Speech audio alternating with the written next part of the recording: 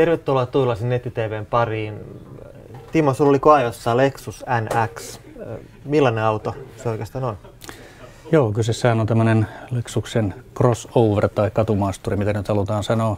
Mm. Lexuksen mallistossa toinen sen tyyppinen. Aiemminhan Lexuksella on ollut jo tällainen RX, joka on mallina sinällään aika paljon vanhempi. Ja nyt tuli sitten rinnalle tämmöinen vähän pienempi mm. ja tietysti vähän edullisempikin, jos nyt Lexuksen kohdalla edullisuudesta voi puhua. niin. Tämä on tuota 54 000 euroa tämän okay. NXn hintahaarukka. Joo.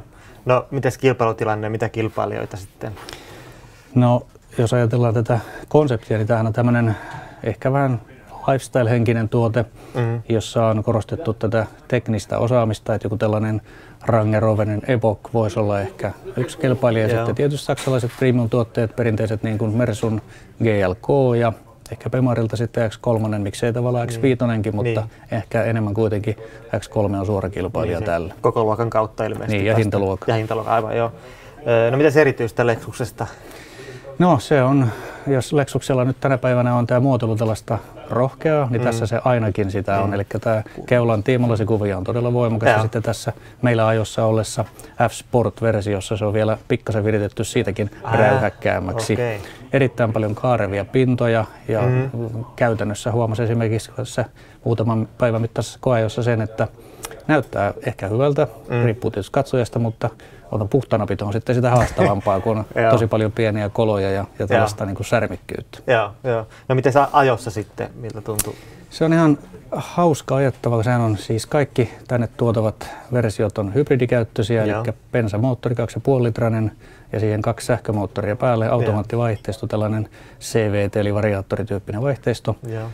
Suorituskyky on ihan kunnossa, paperilla erityisen kunnossa ja käytännössäkin sähkömoottorissa, kun on kunnon vääntöjä alhaalta lähtien, mm. niin se, se antaa sellaista muhkeuden tunnetta. Ja, Sitten ja. taas toisaalta kun mennään moottoritielle, niin kuitenkin auto on iso, painavahko, mm. mm. eli se ei ole mikään supersportti, niin, mutta varmasti niin. pärjää käytännössä. Ja, no miten tilat sitten?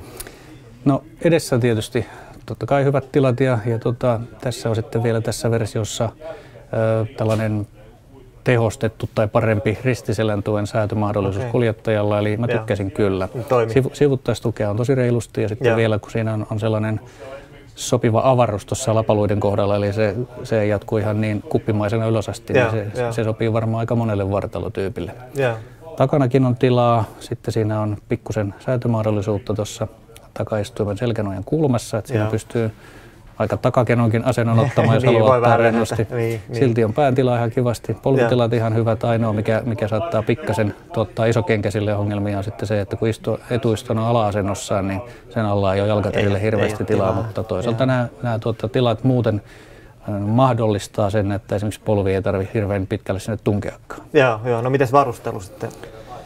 Siinä on aika hyvät varusteet. Ehkä mielenkiintoisimpia on mukautuva vakionopeuden säädin, joka toimii hyvin pehmeästi, eli Joo. hyvissä ajoin ottaa nopeutta pois ja myöskin hyvin pehmeästi sitten taas nostaa Joo. sen.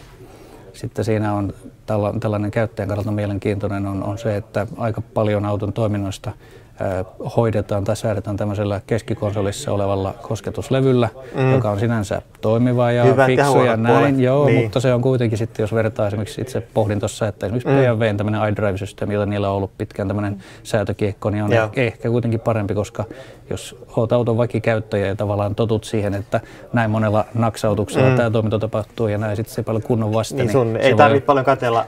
Ei, se, se, mm. se auttaa siinä. Tosin tässä sitten tässä Lexuksessa on, on varuste listalla tällainen mm. head-up display, eli varsin kookas tuulilasinäyttö, ja. johon saa sitten osan auton toiminnosta heistettua, ettei tarvitse sitä katsetta sieltä tiestä ottaa mm, pois. Ihan hyvä lisävaruste. Mm. No miten sitten loppuu vielä kokonaisvaikutelma?